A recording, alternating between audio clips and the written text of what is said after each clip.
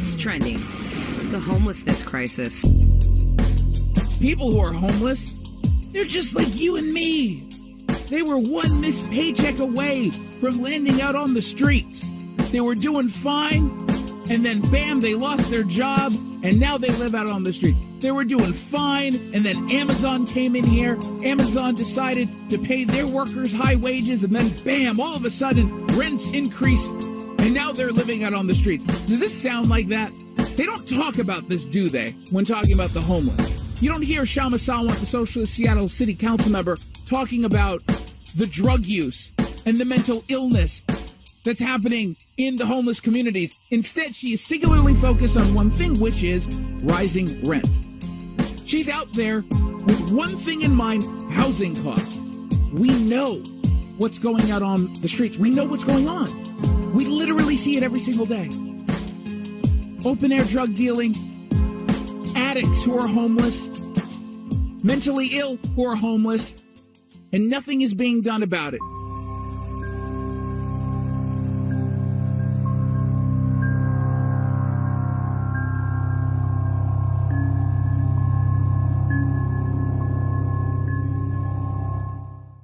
Supervisors to hear our voice today. Now, long term residents are being priced out of their homes with no place else to go. Did you ever think that you could be homeless and living out of your vehicle? No, not at all. But it can happen to anybody. Around 30 other people sleep overnight in their cars in this free parking lot. Nevertheless, most of them work. They are security guards, Uber drivers, secretaries, or even computer technicians. We live in a world obsessed with rich celebrities. But do you know what's even more jaw dropping than a super rich star? A well known rich person who loses it all and ends up homeless. From professional athletes to child stars, these rich and famous individuals all suffered terrible downfalls.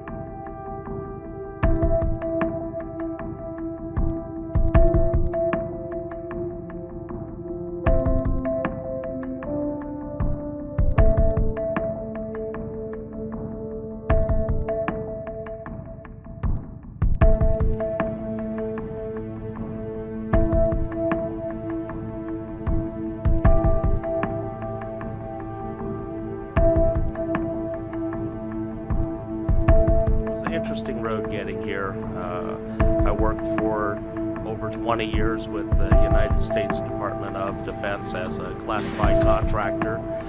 Uh, had developed some uh, health issues because of my work, uh, forced into retirement in 2007. Uh, I was a multimillionaire.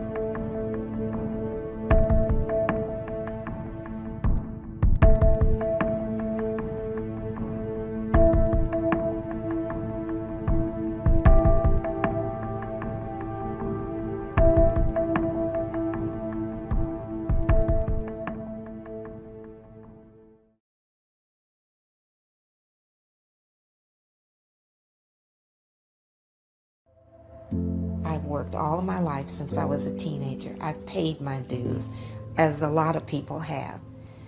And now we're made to feel like, well, now that we've taken everything from you, we don't need you anymore, so go away. You're being displaced unless you can afford to pay that extra high rent.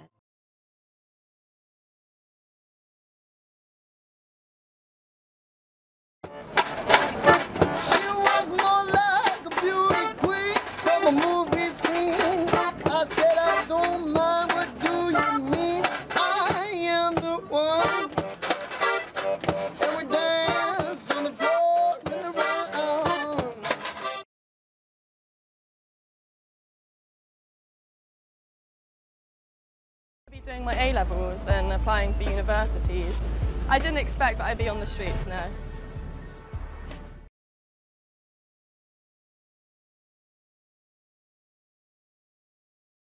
We're here in Traverse City. You're homeless. Yes, sir. Tell me about it. Don't recommend it to anybody. It is a very hard life to live, even when you're working.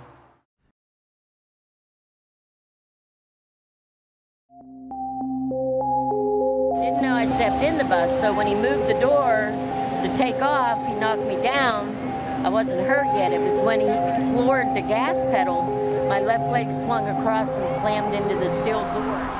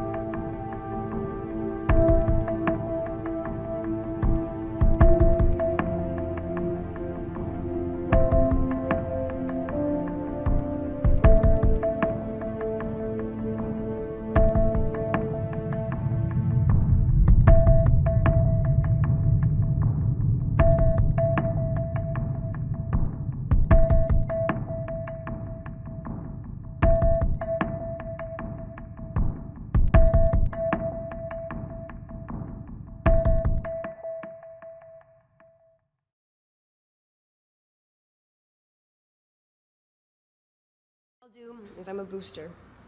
I've been a booster for a while. I learned how to boost in downtown. Downtown boosters boost almost for sport. It's like a competitive thing. We try and flex on each other, see who can get the most.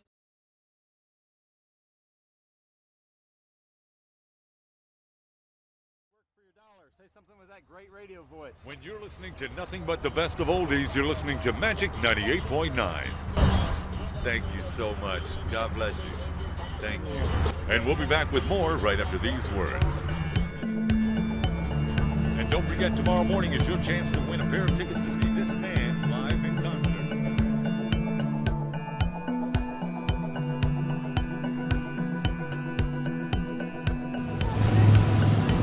I eat, frankly, Mark. Yeah.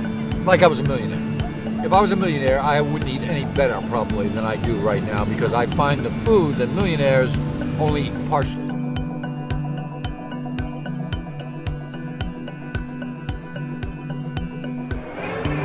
I don't know. I don't have anything that I'd really wish for at the moment. I've, like I said, I have what I want, what I need on my back, and I'm enjoying not needing any more than that.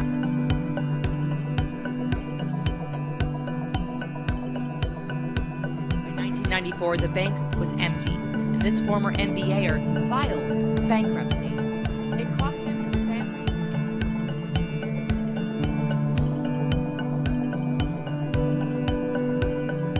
Saying that uh, you don't know how to be homeless. I don't. I either have nothing, which I've had many a time, not only the clothes on my back, or too much stuff, which I just push around because I'm so tired to, you know, I have a few things here and there. I don't know, am I packing for a trip? Like I'm going on vacation? Do I, you know, like what do I, I don't know how to do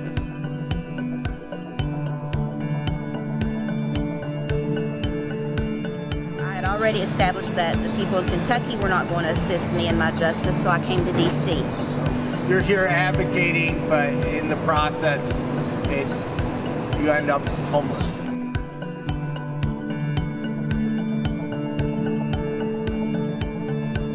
Amanda, Yes. you're homeless here in Seattle. Yes. Tell me about it. Seattle's beautiful.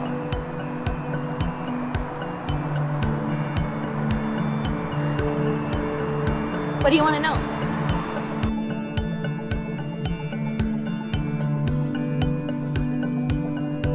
basically just going to protest after protest after protest and um, fighting cops actually helped us kick dope which was really cool What now? What now? yeah Who helped you kick dope? um, fighting cops